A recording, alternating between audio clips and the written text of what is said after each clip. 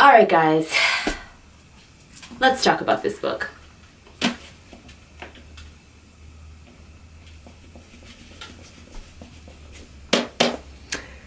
Yeah, we're gonna have to talk about it. So, you guys know what I'm talking about. You guys have seen this book. You guys have seen the reviews, um, or should I say the rants? Zenith, the Androma Saga. You know, it just brings a lot of strong emotions out of us here on BookTube. And so I just kind of want to talk about why. This is not going to be your typical ranty video. Um, don't get me wrong. There are some people out there who read this book and genuinely enjoyed it. And not because they were fans of Sasha or her channel or Lindsay or her channel, but they just genuinely enjoyed this space odyssey high adventure heist situation that was being attempted here. And you know kudos to you guys. That is great. I'm glad you you know you found something to enjoy in this novel and that it was great for you. But you know majority opinion was not you know too happy with this. And so I want to talk about some things that I haven't seen covered in other ranty review videos today in this video because best believe I unfortunately did not enjoy this. Um, I DNF'd it actually. I DNF'd it. And I just want to start off by saying that I have a lot of respect for people who have the guts to put out a published work, to put out, it's like having a child. You know, this is your baby, you put out your work out into the world. So on that basis alone, kudos, respect, good for you. Um, that is something to be celebrated and applauded. And unlike some other rent reviews, I do not regret spending the money on this book. I pre-ordered it because I wanted to support them. I want to support fellow booktubers. I don't care if they're super huge and popular and they probably don't need my coins. I still wanted to support them just on the principle of the matter. We're all in the same community and I'm an aspiring writer as well and I just want to put that good energy and karma out into the universe and just kind of, you know, have that out there, that positivity. So I want to get that out of the way. Also want to get out of the way that I am a subscriber and a fan of both of their channels. Or I was. I unsubscribed to a whole bunch of people, but had nothing had nothing to do with them, I promise. I was just decluttering. Long story. Anyway, I followed Sasha's channel for years. I've watched some of Lindsay's videos. She is a pretty decent author in my opinion. Sasha, you know, she's new at this, so that's something else I want to get out of the way. I'm not just bashing them. I'm actually not even going to be talking about them in this video. This video is going to take a different angle and a different look into why I did not like this and I will link some other reviews down below that go in depth into like the plot and the writing and the pacing and all the technicalities and the technical errors and all that stuff world building all that. We're not talking about that in this video. So if you came here for that that ain't what we're gonna be talking about. Sorry. But you know just to appease y'all let me just give you guys some brief bullet points on my overall views on the actual book and the writing. Number one the writing was lazy and sloppy. People have talked about it before lots of phrases being overused, the descriptions made no sense, etc., etc. Again, I will link some great reviews down below that you can check out. Point number two, this plot basically consisted of, you know, themes and storylines that five or six other YA authors have already done, and a lot of them done well. And all of those kind of smushed into one book. It, A for effort. Number three, there was lots of telling and not showing. Again, lazy writing, or hey, maybe inexperienced writing. This was Sasha's first novel after all, outside of that novella that they put out that was equally as horrendous. Number four, from the way that the book flowed, the pacing, and the way the chapters were written, there just seemed to be no chemistry between the two co-authors. This book distinctly feels like two separate authors and not like two co-writers in this amazing duel that, you know, produces something to the greater good and greater satisfaction of the readers. It just flopped. And unfortunately, it was just overdone here in this book. Way too many characters and subplots and just what is going on. They just couldn't pull it off. You know, having all these characters and all these point of views just came off as flat, contradicting, ugh, and just so irritating for so many reasons that again, I will not go into in this video because many, many other people have and way better than me right now. All in all, I think I may have DNF'd this book because reading it made my brain hurt and I was tired of my brain hurting.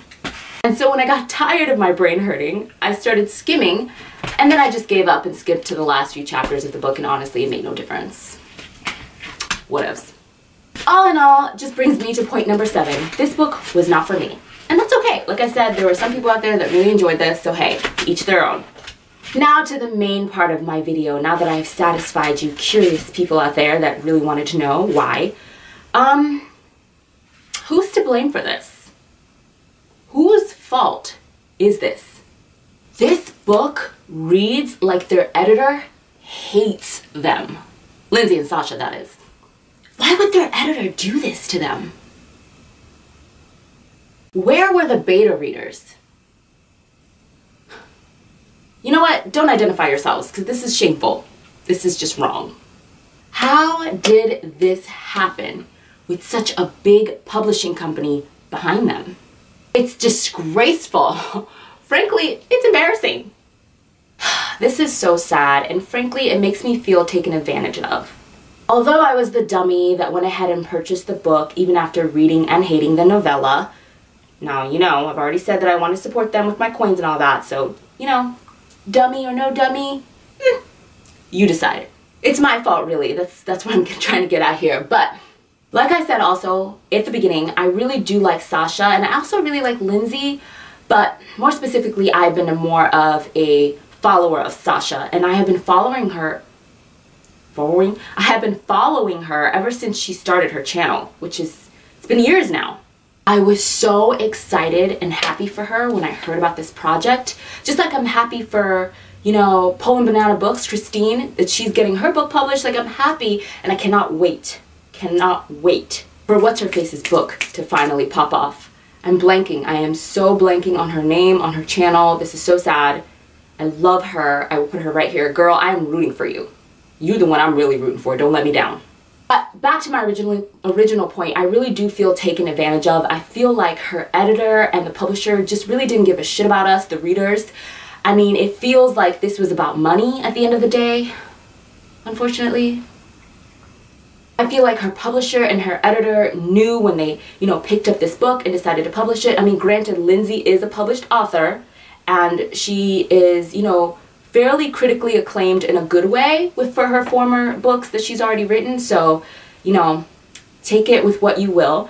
But I almost feel as if the editor and the publisher knew that this book would be a bestseller just solely based off of the following that Sasha had behind her.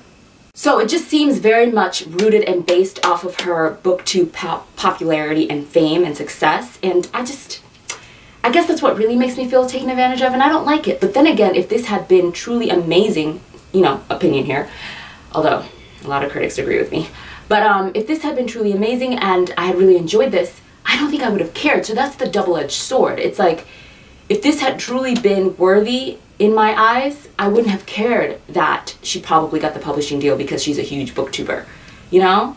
But it says something about all of the writers out there that are so amazing, have such worthy manuscripts that may never see the light of day because they don't have that big, you know, internet popularity and success story behind them.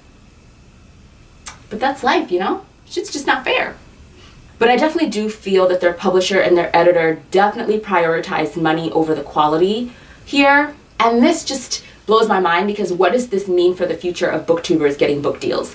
Now, a lot of booktubers and YouTubers in general that we see getting book deals are not necessarily getting them based off of the merit of them having any kind of writing talent or ability. Again, everything is subjective and everyone feels differently about different writing styles and, and voices and things like that. So, you know, but in general, you know, having good syntax, grammar, um, having an imagine, uh, imaginative, yo, where am I?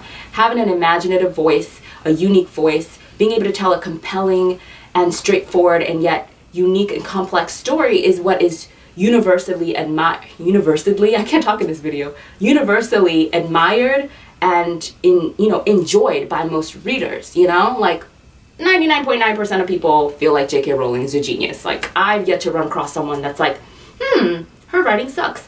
You know, I've run across people that are like, I don't care for the Harry Potter novels for whatever their reasons. They're crazy, but I've never run, you know, heard those people say that she was a bad writer.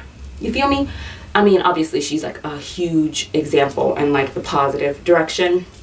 But bringing back to what I was saying, you know, there's a general consensus of what makes a good story and a well-written story. And I just, I fear for, you know, YouTubers, booktubers in general, who are aspiring authors like myself. Like, obviously, we're not going to get book deals off of our popularity. Like us smaller booktubers and those of us that aren't, you know, huge internet celebrities, so to speak, here on YouTube and don't have these huge followings. I'm not going to get a booktube over having like 2,000 subscribers. Like, that's just not the case. And I don't even have 2,000. So, the people who are getting these book deals so easily, like for example, Christine, I'm kind of scared. Is her book gonna suck? Is this what I have to look forward to? Like, is it actually good writing or it's, you know, 97% of the reason she got the deal because she's Christine of Poland Banana Books. I'm, I'm concerned. So of course I'm gonna support her. I love her channel. Same scenario here, but it's just stuff in the back of my mind. So these are just things that I was thinking about. You know, mostly just who's to blame. Do we blame the editor, the publisher? I mean, I do. You know, when you start writing, like, it's not going to be perfect, right? You become a better writer by writing more and more. So I'm not going to hold this against Sasha. I probably will not buy the second book, but I'll probably check it out from the library or read a sample on my Kindle before I decide if I want to purchase or not. But I'm not just deciding that she's a horrible writer off of this. You know, we don't know how she's going to grow, evolve, and change. A very popular author that people have basically come to a consensus that has gotten over, that has gotten has gotten better at writing over time is Cassandra Clare. And, you know, there are a lot of authors like that. But I just, I just feel that there wasn't enough effort put into the actual structural, like, presentation of this novel, you know, on all levels. And that hurts my heart. It's like, there's this big push for this to come out just so it could make as much money as possible. And I just wish they had taken a little bit more time with it, cleaned it up, made it better. Just I'm tired of holding it. You know, what more can I say? Who's to blame here? You tell me down in the comments.